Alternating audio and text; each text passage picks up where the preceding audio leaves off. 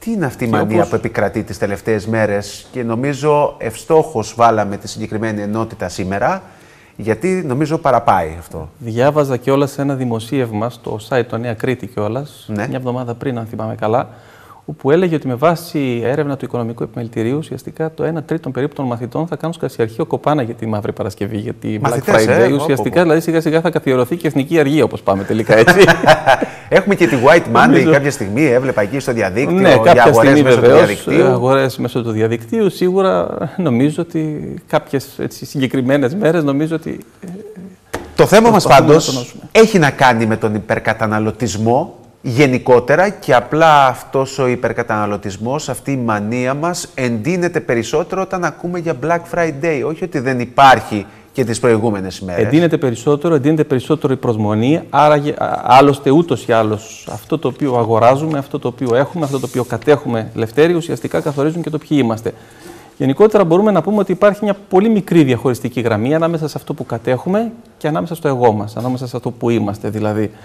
Ε, Βεβαίως, από εκεί και πέρα, ιδιαίτερα κάποιες συγκεκριμένες μέρες, παραμονές Χριστουγέννων, βεβαίως το κομμένο δώρο των Χριστουγέννων δεν βοηθάει καθόλου σε αυτό, ειδικά στο δημόσιο τομέα τα τελευταία χρόνια. Α θυμηθούμε τι γινόταν και σιγά σιγά τι έχει αρχίσει και γίνεται τα τελευταία χρόνια. Νομίζω ότι και η Μαύρη Παρασκευή είναι μία από αυτές τις ημέρες που προσπαθεί να την τονωθεί η αγορά, ε, προσπαθούμε να τονώσουμε την ψυχολογία μας, προσπαθούμε με κάποιο τρόπο να Τονώνεται όντως η ψυχολογία, δηλαδή τα, τα ψώνια ε, τι μπορεί πραγματικά να σημαίνουν για την δική μας ε, ψυχολογία; Ξέρεις, ε, τα ψώνια μπορεί να σημαίνουν πολλά πράγματα στην ψυχολογία μας. Για παράδειγμα, μπορεί να είναι ένας συνδετικός κρίκος ανάμεσα σε δύο ανθρώπους. Δηλαδή, το ότι σε σκέφτομαι και γι' αυτό το λόγο λοιπόν σου κάνω ένα πολύ ωραίο δώρο από εκεί και πέρα. Ή επίσης μπορεί να είναι μια επίδειξη γνώσεως. Είναι το κλασικό, ξέρεις, ξέρω εγώ το πού θα βρω γενικότερα την καλύτερη τιμή. Ή λέω Μαύρης Παρασκευής για παράδειγμα, ξέρω εγώ το ποιο site αντίστοιχα έχει σηκώσει την φτηνότερη τιμή στο συγκεκριμένο ηλεκτρονικό είδος. Από εκεί και πέρα μπορεί να είναι και επίδειξη των γνώσεων και των ταλέντων μας, όπως είπαμε κιόλας, έτσι, και μια τάση για ανακάλυψη την οποία έχουμε.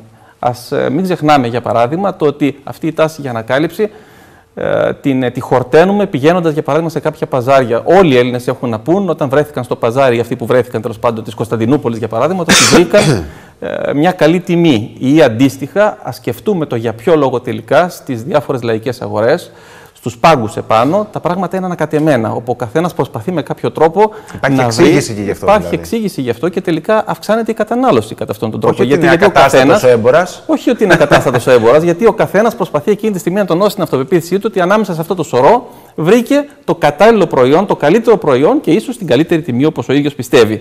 Οπότε λοιπόν τονώνεται η κίνηση εκείνη τη στιγμή. Άρα, λοιπόν, μου αρέσουν αυτές οι πολύ της... μικρές διαπιστώσεις που εμείς το θεωρούμε ως κάτι σύνηθες ε, και ξαφνικά μέσα από αυτή την εικόνα διαπιστώνονται διάφορες έτσι... Ακριβώς, διάφορες, ε, διάφορες συνειρμοί τους, οποίους συνειρμοί, μπορεί να κάνει πολύ σωστά. Ακριβώς. Από εκεί και πέρα σαφώς μιλάμε για την έκφραση αγάπης, η οποία μπορεί να υπάρχει ανάμεσα σε δύο ανθρώπους. Και όπως επίσης αντίστοιχα υπάρχει και μια τελετουργία γενικότερα εσωτερικής και εξωτερικής ανανέωσης. Είναι το κλασικό το οποίο ψωνίζουμε στην αρχή και στο τέλος κάθε σεζόν γιατί προσπαθούμε να ανανεωθούμε ίσως και εσωτερικά και εξωτερικά. Νομίζω λοιπόν ότι τα ψώνια λένε αρκετά πράγματα στην ψυχολογία μας και προσπαθούμε και πολλές φορές να τονώσουμε και την ψυχολογία. Ο εγκέφαλο τι ρόλο παίζει, τι παιχνίδι παίζει της, ε, τη στιγμή που γνωρίζουμε βεβαίως ότι θα προβούμε σε αγορές; Κοίταξε, και ενεργοποιείται και εμπλέκεται ουσιαστικά ο εγκέφαλος από εκεί και πέρα στο παιχνίδι αυτό της ε, κατανάλωσης και των αγορών. Θα λέγαμε, Ελευθέρη, ότι εμπλέκεται η πανδεσία γενικότερα των αισθήσεων. Υπάρχει μια πανδεσία των αισθήσεων. Έτσι. Μιλούμε για παράδειγμα για διάφορα αισθητήρια μηνύματα, τα οποία έρχονται είτε απτικά, όλοι έχουμε πάει αγοράζοντας μια μπλούζα και την αγγίζουμε την μπλούζα.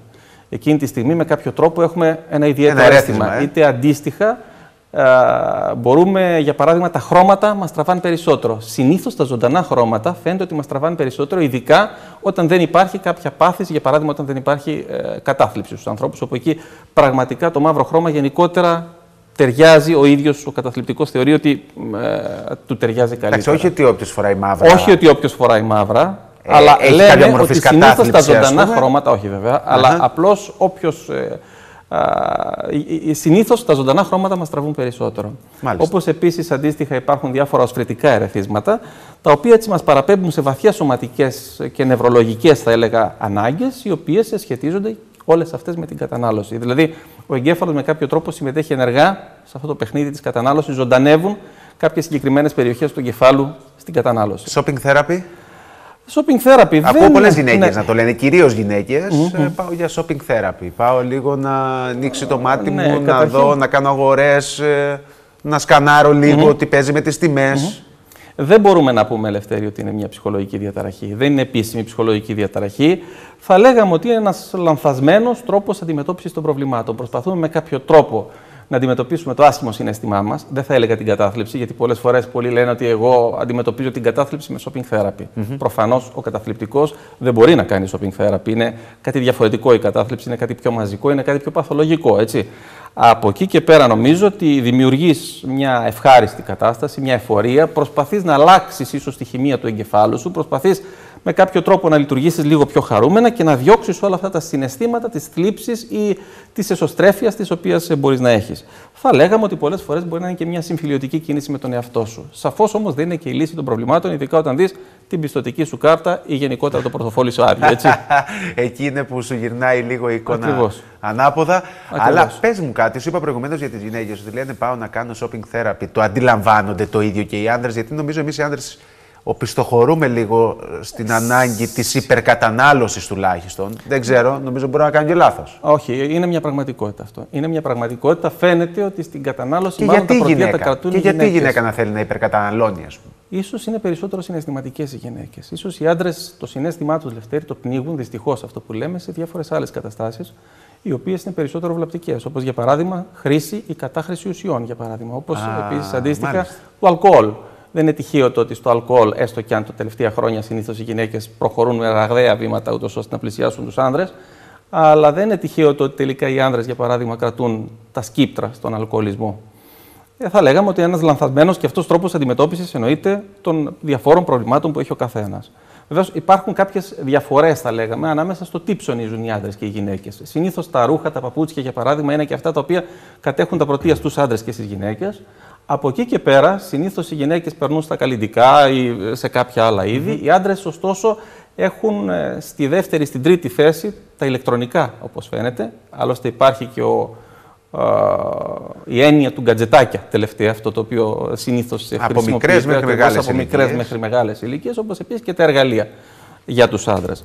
Βεβαίως, το με ποιους ψωνίζουν είναι επίσης σημαντικό. Συνήθως οι άντρες προτιμούν να ψωνίζουν μόνοι τους. Συνήθως. Από εκεί και πέρα οι γυναίκες με παρέα, είτε με φίλες, είτε με την οικογένεια, είτε με τα, τα, τα παιδιά τους, τα ίδια. Από εκεί πέρα και σαφώς, αν θα μπορούσαμε έτσι να μιλήσουμε για κάποιες κατηγορίες καταναλωτών, μια κατηγορία καταναλωτών, αρκετά δύσκολη κατηγορία στους καταναλωτές, είναι η οικονόμο γυναίκα, η οποία είναι γυναίκα που έχει παιδιά, οικογένεια άνω των 35 ετών, και η οποία γυναίκα προσπαθεί με κάποιο τρόπο να κάνει οικονομία και άρα λοιπόν είναι πολύ δύσκολα πειθόμενη από την α, υπάλληλο.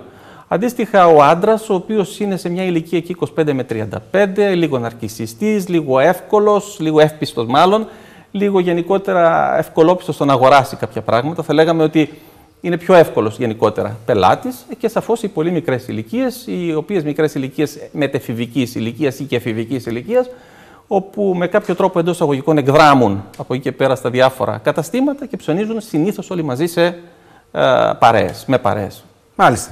Λοιπόν, ε, υπάρχουν ε, παθολογίες που σχετίζονται με την υπερκατανάλωση; Ναι, θα λέγαμε ότι οι παθολογίες οι οποίες σχετίζονται με την υπερκατανάλωση είναι η μανία, είναι το αντίθετο της κατάθλιψης.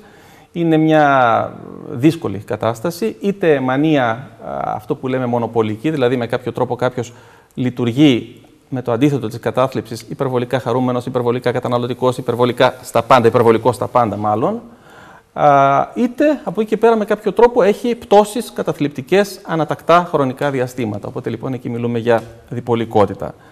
Μάλιστα, τελευταία ξέρεις, έχει υπάρξει και ένας όρος, αδόκιμος κατά τη γνώμη μου όρος, ο όρος ονειομανία, δηλαδή η μανία του να ψωνίζω όπου μιλούμε για αστήρευτη μανία της απόκτησης και της κατανάλωσης των αγωθών. Όπου κάποιος προσπαθεί με κάποιο τρόπο να αλλάξει, όπως λέγαμε προηγουμένως, τη χημεία του εγκεφάλου του, αλλά περνώντας το αντίθετο άκρο, υπερκαταναλώνοντας χρήματα και προφανώς ψωνίζοντας πάρα πολλά αγαθά. Προσπαθεί δηλαδή να διώξει τα συναισθήματα του θυμού, της μοναξιάς, γενικότερα της δυσφορίας, της θλίψης που μπορεί να έχει κάποιος, μέσα από το να ψωνίζει, πράγμα το οποίο αποδεικνύεται αρκετά βλαπτικό στην τσέπη του και όχι μόνο ίσως. Οδηγίες θα μπορούσαμε να δώσουμε λίγο πριν κλείσουμε; Δηλαδή, Ξέρεις... μπορεί κάπως να καταπολεμηθεί αυτή η μανία η οποία περιγράφουμε τόση ώρα όσον αφορά τον υπερκαταναλωτισμό; Η μανία από τη στιγμή κατά την οποία έχει γίνει η μανία ελευθέρη είναι λίγο δύσκολο δεδομένου του Δεν ότι έχει γυρισμό. υπάρχει ή αν το θέλεις διαφορετικά είναι ένα σύμπτωμα ανάμεσα σε μια άλλη παθολογία η οποία είναι η μανία. Δηλαδή, η υπερκατανάλωση είναι ένα σύμπτωμα της μανίας. Άρα λοιπόν, τότε σαφώς χρειάζεται μια διαφορετική αντιμετώπιση από ειδικό. Εάν... Σαφώς όμως ότι τα πράγματα ναι. είναι πιο εύκολα, πιο, πιο, πιο, πιο ελαφρά τα πράγματα. Τότε ναι, υπάρχει υπό την έννοια του ότι έστω και αν οι τελευταίες κυβερνήσεις προσπαθούν να μας πείσουν να χρησιμοποιήσουμε τις κάρτες, ίσως το να χρησιμοποιήσουμε μετρητά, παλιά, κλασική μέθοδος, μας κάνει. Κρατάμε το να περισσότερα χρήματα. Περισσότερο. Έστω και αν ξέρεις, έχει φανεί από έρευνα το ότι τελικά έχουμε την τάση να καταναλώνουμε περισσότερα χρήματα μικρότερης ονομαστικής αξίας. Δηλαδή, αν έχω εγώ 4 δεκάρικα μαζί μου, ουσιαστικά 50 ευρώ, τα ξοδεύω πολύ πιο εύκολα σε σχέση με το να είχα ένα 50 ευρώ. Αυτό έχει φανεί από έρευνα και νομίζω ότι ο καθένας μπορεί να το καταλάβει αυτό. Γιατί με είναι κάποιο τρόπο ευτελίζει την αξία του Πότε μου έφυγαν τα λεφτά και δεν το κατάλαβα. Όπως αντίστοιχα, για παράδειγμα, βρισκόμενος κάποιος στο εξωτερικό ή να θυμίσουμε στους τηλεθεατές όταν έγινε η αλλαγή, όσοι τουλάχιστον το θυμούνται, ως, όταν έγινε η αλλαγή από ευρώ σε δραχμές, το πόσο πιο καταναλωτικοί γίναμε. Γιατί, Γιατί ξαφνικά οι 340 δραχμές, ουσιαστικά το 1 ευρώ, έγινε ε, ένα ευρώ. Ένα. Άρα λοιπόν γίναμε πολύ περισσότερο καταναλωτικοί σε εκείνη τη φάση. Άρα λοιπόν τι Είδαμε και το ευρώ ως μικρότερη μονάδα χρηματική. Ακριβώς. Ε, ε, ενώ ήταν 360 δραχμές. Ενώ ήταν 360 δραχμές. Ήταν 340 δραχμές, ακριβώς. Ήταν ένα μεγάλο ποσό. Να σε ρωτήσω κάτι ναι. και κλείνουμε με αυτό. Ε, μιλάμε για οδηγίες προς ε, υπερκαταναλωτές. Θα μπορούσε να είναι μια οδηγία το να μην υπάρχει οικονομική δυνατότητα, δηλαδή να μην δώσω στη γυναίκα μου χρήματα ή να μην δώσω στο παιδί μου τα παραπάνω λεφτά που θέλει. Εκεί είναι ένας τρόπος να επιλύσεις κάπως την κατάσταση ή οδηγείς σε πιο ακραία Κοίταξε, νομίζω μανία ότι, μελλοντικά, ας πούμε. Νομίζω, νομίζω ότι ε, δεν μπορούμε να είμαστε δογματικοί και κάθετοι στην κάθε μία περίπτωση ξεχωριστά. Μάλιστα. Ίσως θα λέγαμε ότι το παιδί πρέπει να μάθει να διαχειρίζεται τα χρήματά του. Ίσως νομίζω ότι μπορούμε να, το, να μιλήσουμε ξεκάθαρα σε μια άλλη εκπομπή γι' αυτό. Το παιδί πρέπει να διαχειρίζεται το μισθό, τον εβδομαδιαίο μισθό που μπορεί να έχει. Έτσι. Από εκεί και πέρα όμως τα πράγματα όταν συμβαίνουν στους ενήλικες, τα πράγματα ίσως διαφέρουν το να μπούμε στη διαδικασία να πούμε ότι θα σου περιορίσω τα χρήματα στην ή στον σύζυγο αντίστοιχα, ε, νομίζω ότι είναι μια κατάσταση η οποία πρέπει να έχει τη συνένεση του συζύγου ή της συζύγου αντίστοιχα. Οπότε τα πράγματα δεν σοβαρεύουν και λειτουργούν διαφορετικά ακριβώς. Και δυναμικίζουν και άλλα πράγματα στο εσωτερικό Οδηγούμαστε μετά στα άκρα, δεν τα θέλουμε τα άκρα. Λοιπόν, Νίκο, θέλω να σε ευχαριστήσω πάρα πολύ. Ραντεβού την επόμενη Τετάρτη.